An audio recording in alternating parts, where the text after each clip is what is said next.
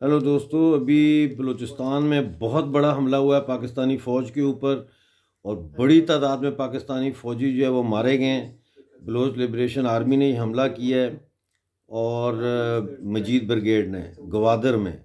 उसकी पूरी डिटेल जो है वो मैंने अपने नए चैनल पर डाली है।